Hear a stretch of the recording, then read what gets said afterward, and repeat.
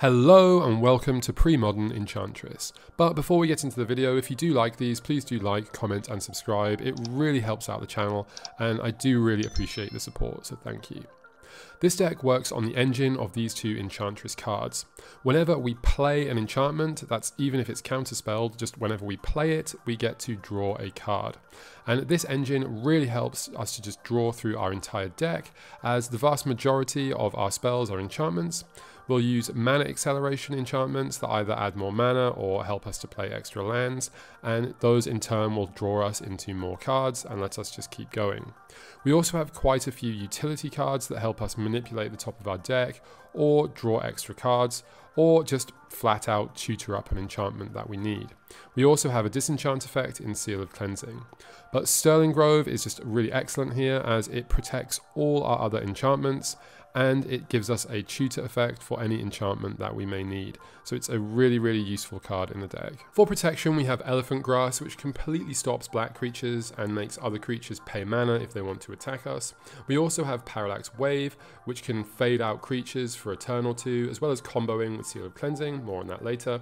And we're playing Solitary Confinement. At the beginning of our upkeep, we must sacrifice it unless we discard a card, and it makes us skip our draw step. So this is a pretty big cost but what we get in return is it makes us almost unkillable. It prevents all damage that would be dealt to us and prevents us from being the target of spells or abilities, so it's going to be extremely difficult for our opponents to kill us with this in play.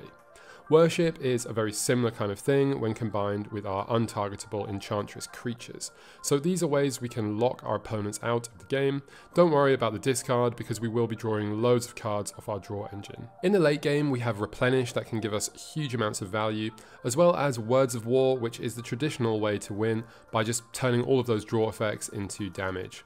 We also have Opalescence, which can turn our enchantments into creatures and allow us to attack our opponents. It also combos with Parallax Wave, but more on that later. This deck has a lot of options. Some of the more spicy builds I've seen play Oath of Druids to get the Enchantress in play, as well as Lotus Petal to speed everything up.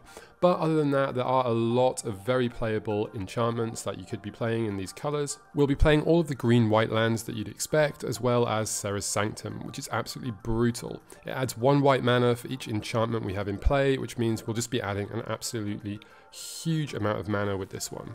And don't worry, we don't need red sources as we'll get red mana for Words of War from some of our enchantments. Because of the color requirements of all of the mana accelerants, this is one of the few decks that generally doesn't play Wasteland or Mishra's Factory. There are a lot of good sideboard options for these decks. Generally, you'll want something for against control, something for against combos, especially creature combos like Cursed Totem.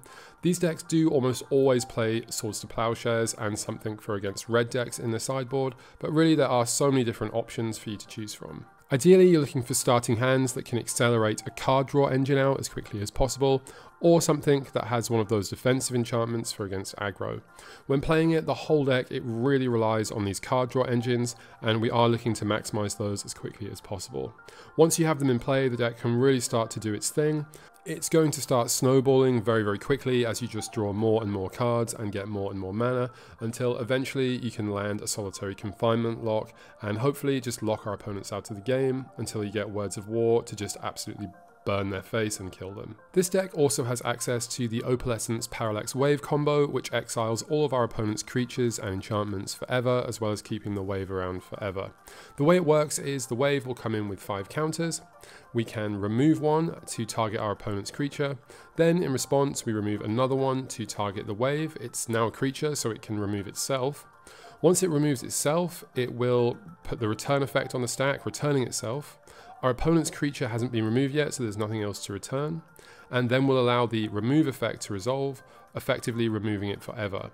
The wave counts as a completely new wave now, so it will never ever bring that creature back. If you don't have the Opalescence, you can also remove a bunch of their stuff forever as a one-time thing by killing the wave in response with a disenchant effect. So against the deck, there are actually ways around the solitary confinement worship lock, such as making them lose life instead of dealing them damage, As well, big fast creatures can actually kill the deck before it gets going. It doesn't have any creature removal or disruption main deck, so those can be a problem. And counter magic just straight up counters the stuff, so it's hard for us to play around that. The deck's somewhat of a combo control deck that's looking to do pretty much the same thing in all games.